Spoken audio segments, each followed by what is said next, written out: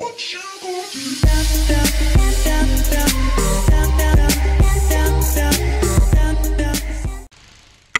guys, so this is the Easter egg guide for Advanced Warfare Exo Zombies. Now this Easter egg is reasonably easy, yet also very hard. It's more time consuming than anything. It's not not exactly hard, except the Plinko machine is definitely a struggle. But for step one, what you're going to have to do is you're going to have to call Mr. Chomper here. And what you're going to have to do with him is you're going to have to wait till he gets near the door. You'll get him by security or he can cost 500. Get your teleport grenade and as he's going in, the door will open. Throw your teleport grenade in, turn on the power switch that's inside and then this will power the weapons disposal unit. Now you can give your weapons to this guy, he'll give you 200 points or a few other things, so I'll be back with step 2. So the first step of step 2 is you get your teleporter grenade, throw it in, and that will move it to the left. Now you have to get a distraction drone, which we'll wait for. If you can see here, this changes, and eventually you can um, get a distraction drone drop thing. You should be like familiar with the four symbols. So the distraction drone drops down, and now you just need a normal grenade. Oh, I, I pressed, I mean, press Y there. And there we go. So the normal grenade dropped in there, and that is the first step of these three steps. So part two of step two is to firstly obviously throw the teleporting grenade in to move it towards the left. And then the next one that you'll need is an explosive drone, so we'll casually wait for that just bantering about. So an explosive one and then a normal distraction one after that. Should be able to get that quite easily. I think I've missed that one there.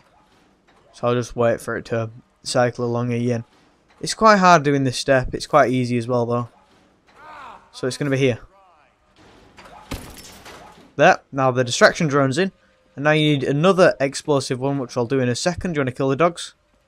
Get that max ammo. Alright, so I've got more grenades now. So another explosive drone, and now all we need is a grenade. Oh. Just need a normal grenade. There we go. And a normal grenade. Bounce, bounce, bounce, bounce, bounce. And that is part two of step two done. So I'll be back with part three. And now step three of this one is pretty hard to actually do. You're going to need, firstly, a teleporting grenade. Right there. Then you will need an explosive drone. And I'll do the next one at the end of next round. Just like that. And then I will need a nano drone, which I probably cannot do in this round, so I'll do it at the end of next round. So the next thing I'm going to need is a nano one, which will be right there. Drop that one in, bounce, bounce, bounce. And now what I'll need is another explosive drone. Oh, I'll do that at the end.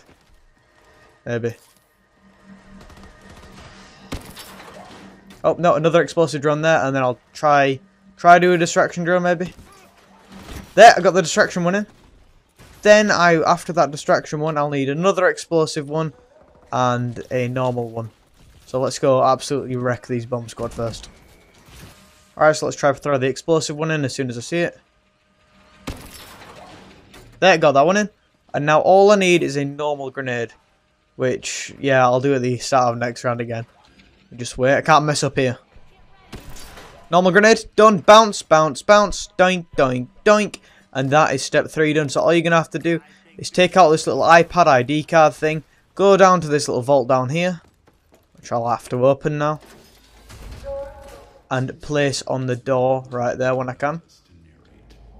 It's not working though. But yeah. It's not working, why?